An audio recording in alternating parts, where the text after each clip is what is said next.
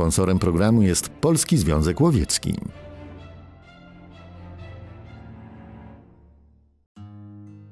Na program zaprasza sponsor Amerigas Polska.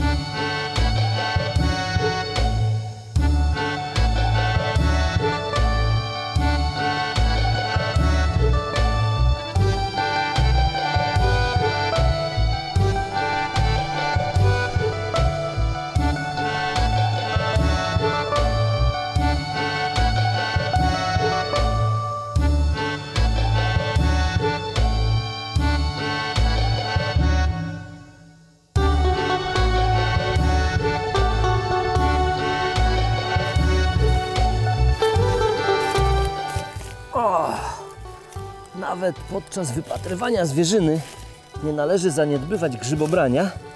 Proszę zobaczcie, jaka piękna kania. Jeżeli chcielibyście zobaczyć, czym kania odróżnia się od muchomora, to blaszki, ich kolor jest zupełnie inny, tym się odróżnia od muchomora i przede wszystkim góra. Czubajka nazywa się czubajka kania, bo ma tutaj taki charakterystyczny czubek oraz te takie strzępki, których nie ma muchomor. W ten sposób łatwo możecie ją odróżnić od trującego i śmiertelnego sromotnika. To jest nam niepotrzebne, ten zdrewniały trzon. Przy okazji możemy zobaczyć, czy nie ma tu jakichś żyjątek. Okazuje się, że nie ma. Będzie z skani dzisiaj na kolację pyszny kotlet.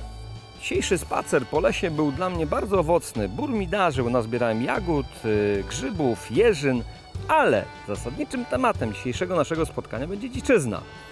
Dziczyzna się bierze właśnie stąd. Pochodzi od dzikich zwierząt, które tutaj żyją, jedzą właśnie takie grzyby, żywią się ziołami, soczystymi trawami, owocami tego przepięknego drzewa. Jest to stary dąb, którego żołędzie są znakomitym pokarmem nie tylko dla dzików, ale również dla saren, dla jeleni, dla bażantów i dla różnych innych zwierząt. Dlatego zapraszam Was dzisiaj do mojej dzikiej kuchni na smakowite potrawy z dziczyzny. Po porannych eskapadach w okolicznych lasach i borach e, przyszła pora na kulinaria zachodniopomorskie. Jesteśmy tutaj u przyjaciół. E, mamy świeżo upolowaną e, dziczyznę, e, mamy i mięso z dzika, i mięso z jelenia.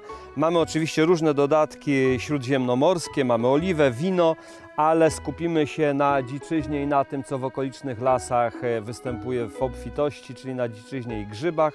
Zaraz dotrą do nas świeże grzyby. E, Skupiliśmy się na e, kuchni naturalnej, zdrowej. Mamy dostęp tutaj do pobliskiego ogródka, w którym, z którego dostaniemy za chwilę świeże warzywa. Przyrządzimy dla Państwa dzisiaj grillowaną polędwicę z dzika i ragu z jelenia. Wszystko będziemy przyrządzać na e, takim wspaniałym urządzeniu firmy Broil King. Ja uruchomię w tej chwili tego grilla. E, Potrzebujemy e, 5 minut do 10, żeby go rozgrzać. Za 5 minut grill będzie gotowy do pracy. Przygotujemy wszystkie potrzebne składniki. Na pierwszy ogień pójdzie polędwica z młodego dzika, którą zgrillujemy. Ona została zamarynowana w bardzo delikatnej zalewie z rozmarynu świeżego, z, ze świeżych e, ząbków czosnku. Do tego dołożyłem odrobinę wina, troszeczkę octu balsamicznego, zioła, jałowiec i ziarna czarnego pieprzu.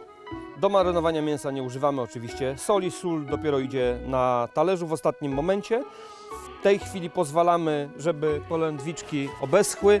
Możemy je troszeczkę osuszyć ręcznikiem papierowym, bacząc na to, żeby był ręcznik odpowiedniej jakości, żeby e, papier nie przyklejał się w żadnym razie do mięsa, gdyż później zostanie nam to w potrawie oczywiście. Mięsko jest przygotowane i w tej chwili e, do zaromatyzowania mięsa możemy użyć e, tych dodatków, w których ono było marynowane, czyli dajemy czosnek, dajemy ziarna pieprzu, rozmaryn, i utłuczemy to wszystko w moździerzu. Zrobimy taką emulsję, którą później w ostatnim momencie damy na już grillowane mięso. To wszystko należy bardzo dokładnie utłuc. Możemy tutaj dać troszeczkę oliwy. Możemy dać odrobinę soli.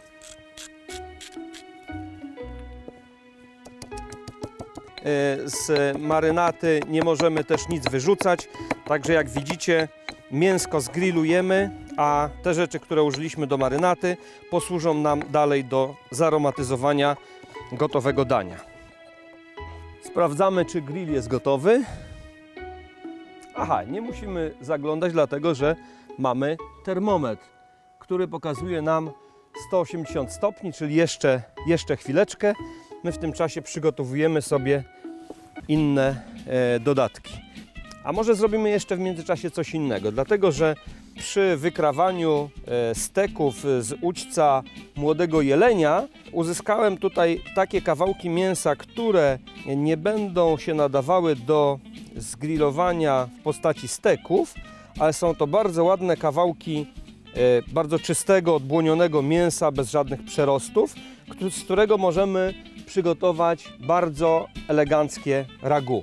Ragu to jest potrawa, w której przeważa dziczyzna, przeważa mięso, ale jest duży dodatek również grzybów i warzyw. Mięsko należy pokroić mniej więcej na takie porcje. One muszą być słuszne, e, takie, które jeszcze e, w potrawie będziemy mogli przekroić, żeby je zjeść. To musi być taka gruba kostka, mniej więcej taka. To jest śliczne mięsko, proszę zobaczyć, że tutaj żadnych błon, żadnych przerostów. Barwa mięsa od razu mówi nam o tym, że e, to nie jest mięso hodowlane, to jest po prostu dziczyzna. To mięso mamy gotowe, odkładamy go na razie na bok i przystępujemy do przygotowania warzyw tak naprawdę to mięso wymaga o wiele krótszej obróbki termicznej niż warzywa, czyli musimy najpierw przesmażyć warzywa na patelni i dopiero wrócimy do mięsa. W międzyczasie zobaczymy, czy grill się nagrzał, jest już gotowy do pracy. W tej chwili poprosimy nasze e, dziewczęta, które poszły do ogrodu po warzywka, żeby już nam przyniosły. Bardzo Wam dziękuję. Piękne warzywa i grzyby z lasu. Bardzo Wam dziękuję. E, mamy świeże kurki. Pięknie pachną lasem. I mamy warzywa z prawdziwego ogródka. Pietruszka, por. Widzę, że jest też seler, marchewka. To wszystko nam będzie potrzebne do ragu. Zaraz to wszystko obiorę, usiekam i wracamy do gotowania. Warzywa przygotowane, marchewka, seler, pietruszka, cebula czerwona, cebula biała i jeszcze podgrzybki do tego. Użyjemy kolejnej funkcji grilla, mianowicie palnika, na którym przesmażymy poszczególne składniki. Najpierw przesmażamy, moi drodzy, cebulę, która wymaga najdłuższego czasu e, smażenia e, i robimy w takiej kolejności. Cebulę, warzywa pozostałe, grzyby i na koniec mięso. Cebuli dajemy dość dużo, dlatego że cebula nadaje e, bardzo fajny posmak, aromatyzuje później pozostałe składniki, które będziemy dodawać do patelni i po odpowiednim rozgotowaniu, rozpróżeniu na patelni e, w sosie zagęści nam całe ragu. Cebulka się podsmaża. Będziemy potrzebowali przypraw, śmietany. Śmietanę możemy użyć e, do ragu w końcowym e, etapie, ale niekoniecznie. Zrobimy dwie wersje. Najpierw przyrządzimy ragu bez śmietany, a w drugiej wersji e, dodamy śmietanę. Tak samo pomidory, możemy użyć jeszcze pomidorów, możemy użyć papryki, wszystko zależy od naszych upodobań. Ragu możemy wykonać również z samymi grzybami leśnymi. E, Myślę, że inne grzyby nie pasują. Grzyby typu e, pieczarka z całym szacunkiem do pieczarek. Uważam, że szlachetniejsze będą, szlachetniejsze połączenie, bardziej właściwe będzie, jeżeli użyjemy do dziczyzny grzybów z lasu. Mogą to być, e, jeżeli chodzi o jelenia, e, podgrzybki albo borowiki. Kurki, które tutaj mamy, bardziej odpowiadają do sarniny, do drobiu, do dzikiego ptactwa oraz do dzika. Cebula nam zaczyna skwierczeć, grill się rozgrzewa, my sobie możemy już wrzucić te polędwiczki na grilla, tak żebyśmy w międzyczasie komponowali już całość obiadu, a raczej kolacji, bo nam troszkę zeszło. Możemy przesmarować delikatnie oliwą te polędwiczki, pamiętając o tym, że dziczyzna jest mięsem bardzo chudym, zawierającym o wiele mniej tłuszczu niż e, mięso zwierząt hodowlanych. Jeżeli porównamy sarninę z wołowiną, to jest kilkakrotnie mniejsza zawartość tłuszczu, oczywiście na korzyść sarniny. Prawie 350 stopni ma grill. Wrzucamy kawałek mięsa, tak że on ma się zamknąć natychmiast, stąd ta duża temperatura. Pamiętajmy o tym, że nie ma tutaj tłuszczu. W związku z tym tu się nie ma co wytapiać. Musimy szybko zamknąć mięso i odłożymy go tutaj na wyższą półkę, żeby dochodziło. Cebulka się powoli przesmaża. Mięsko jeszcze się trzyma, w związku z tym jeszcze chwileczkę musimy poczekać. Jedna strona polędwiczek już chyba gotowa. Przewracamy i to samo co poprzednio. Przygniatamy. Możemy wrzucić kolejne warzywka.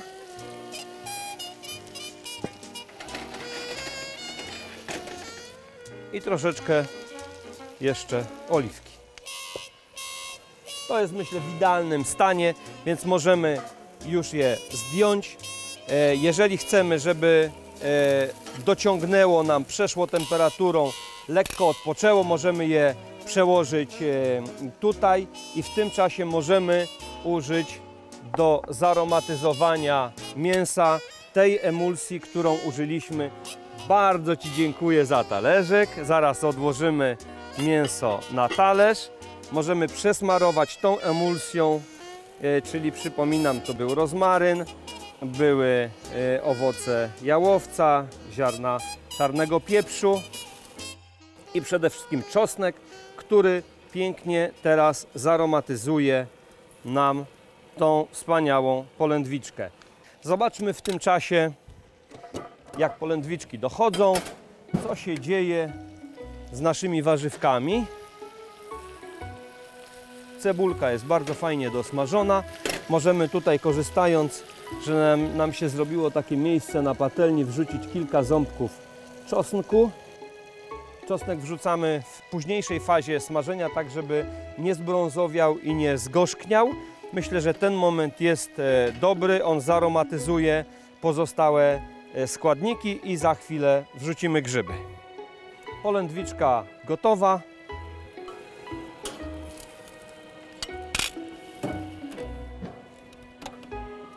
Za chwilkę pokroimy ją, sprawdzając, czy utrafiłem e, w punkt ze stopniem wysmażenia i przygotujemy jakieś niewielkie dodatki.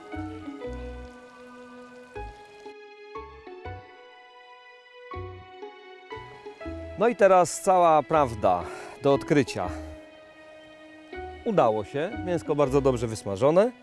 Proszę zobaczcie. Lekki róż w środku. Przygotujemy w tej chwili małą porcyjkę i poczęstujemy nasze wspaniałe grzybiarki i ogrodniczki, które nam przyniosły do ragu pełno wspaniałych bogactw z okolicznych lasów i ogrodów. Myślę, że nasze głodomory są już gotowe na przyjęcie małej przekąski. Możemy skomponować takie mięso w formie pełnego obiadu. Możemy też z tego zrobić delikatną przekąskę. Ja tu zrobię to w formie takiej bardziej delikatnej, ale dziewczynki były dwie, to dołożę kawałek. A te dwa małe zapomnijmy o nich, to będą dla mnie na później. Mamy tutaj gruszkę marynowaną na słodko. Zdamy jedną gruszeczkę i może odrobinę borówek. Proszę zobaczyć, jaka ładna kompozycja. Wszystko to wygląda e, kolorowo. Czerwone mięso, biała gruszka, czerwone borówki. I brakuje nam tylko w tej chwili jakiegoś akcentu, czyli zielonego, czyli kawałek rozmarynu, w którym był marynowany dzik. I na koniec sól i pieprz, które rozpruszamy ładnie na talerzu. Mięso nie było solone, damy tylko delikatny tutaj akcencik. E, mięso z dziczyzny można jeść bez soli, e, także dziewczyny będą mogły sobie spróbować i mięsa niesolonego, a jeżeli przyjdzie Wam ochotę na sól, to możecie sobie delikatnie umaczać w tej soli, która jest rozpruszona na talerzu. Zapraszam. Moje małe pomocnice muszą się dobrze najeść, dlatego że ja mam jeszcze kilka zadań dla nich na jutro i chcę, żeby miały ochotę do pomagania nam. W tym czasie warzywka już nam ładnie doszły. Możemy wrzucić ostatni składnik, jakim są grzyby. I w tym momencie przykryjemy całość. Grzyby puszczą sok, zmiękczą cebulę, składniki się połączą i dopiero wtedy damy przyprawy, czyli sól i pieprz, bo do tej pory niczym warzyw nie przyprawialiśmy.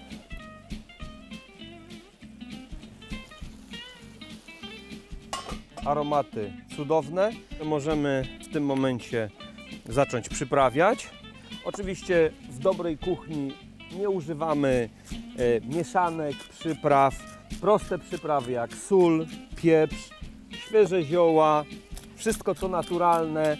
Pieprz mielimy oczywiście prosto do potrawy. Jeżeli chodzi o glutaminian sodu, który jest w wielu gotowych mieszankach przypraw, to my mamy tutaj polski lubczyk, który nam zastąpi te rzeczy, podbije smak.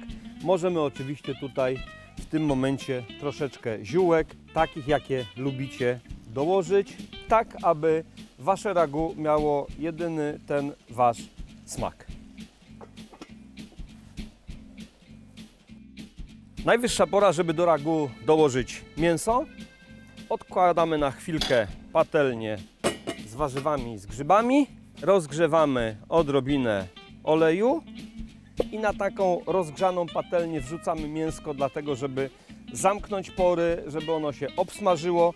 Mięsko wrzucamy niewielkimi porcjami, dlatego żeby zamknięcie porów nastąpiło dokładne, żeby to mięso się obsmażyło, żeby nabrało smaku, żeby nie puściło e, soków na patelnię, bo wtedy będziemy mieli efekt takiego mięsa duszonego, gotowanego, a e, najbardziej właściwe w ragu jest, jeżeli warzywa są lekko chrupiące, takie al dente, jeżeli mięsko jest soczyste, ale obsmażone dokładnie ze wszystkich stron, zrumienione z takim posmakiem pieczystego.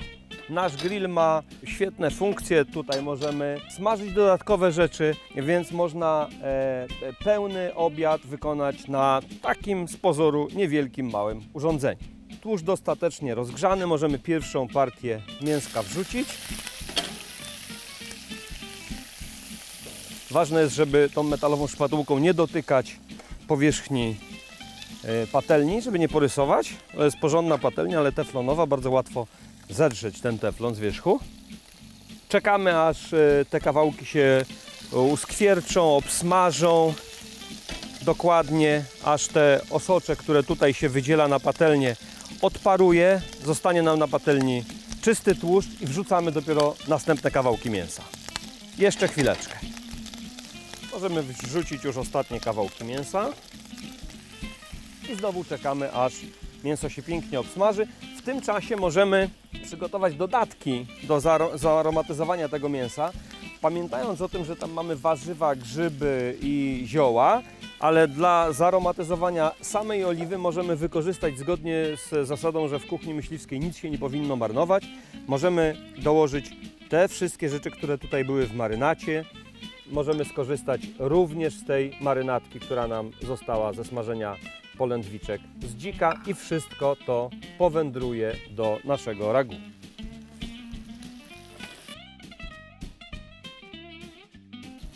Mięsko dostatecznie zrumienione.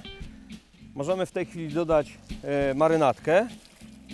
Całość po prostu wlewamy i w tej chwili czekamy aż płyny się zredukują, znaczy ich objętość zmniejszy się co najmniej o połowę i dodajemy jeszcze odrobinę winka. Przypominam, wino czerwone wytrawne. Pięknie się zredukowało. Możemy jeszcze odrobinę winka i w tej chwili musimy połączyć te oba składniki. Potrzebny nam jest większy garnek. Możemy na dno podlać ociupinkę wina, poczekać aż garnek troszeczkę się razem z tym winem nagrzeje i wrzucamy mięsko i wcześniej podduszone warzywa z grzybami.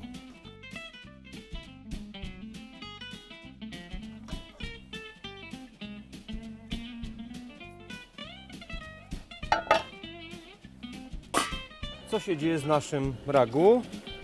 No, ono jest już gotowe. W związku z tym nasze małe pomocnice możemy zaprosić już na małą degustację. Oto nasze ragu. Proszę zobaczyć te piękne kawałki, duże kawałki mięsa, całe podgrzybki. Proszę, przepiękny widok. Agatko, proszę bardzo, smacznego. A teraz, moi drodzy, spróbujemy drugą wersję ragu ze śmietaną. Zdarzyło Wam się pewnie nieraz, że śmietana zważyła się w daniu. Nie ma na to stuprocentowej recepty, ale pomóc może między innymi posolenie. I tak danie mamy z solą, w związku z tym możemy śmiało posolić. Jest to śmietana z dobrego źródła od okolicznych krów w zachodniopomorskiem. Wymieszamy dokładnie tą śmietanę. To jest gęsta, kwaśna śmietana. Wymieszamy ją z solą i żeby zahartować, żeby nam się nie zważyła, dodajmy odrobinę sosu do śmietany. Mieszamy to razem i wrzucamy słuszną porcję. No myślę, że tyle wystarczy. Może jeszcze ociupimy. Teraz bardzo ważne, żeby nie przypalić całości. Zmniejszamy ogień.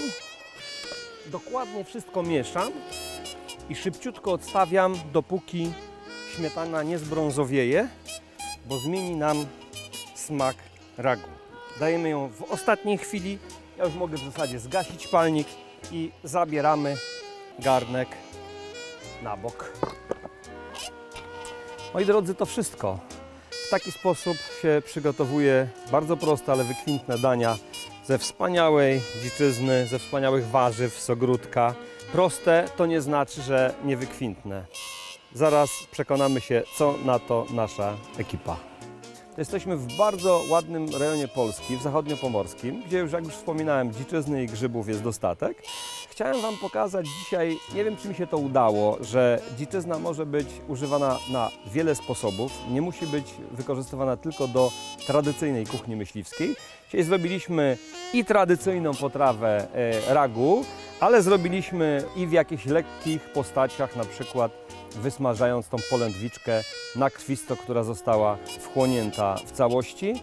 Może nie w całości, bo mam jeszcze tutaj e, jeden plasterek, tak żeby zjeść to razem z bakłażanem, już jak ekipa e, odejdzie z tego pięknego miejsca nad wspaniałym jeziorem i szemrzącym z tyłu cały czas strumykiem. A na dzisiaj to wszystko. Dziękuję bardzo i do zobaczenia za tydzień w następnym, mam nadzieję, równie dobrym odcinku.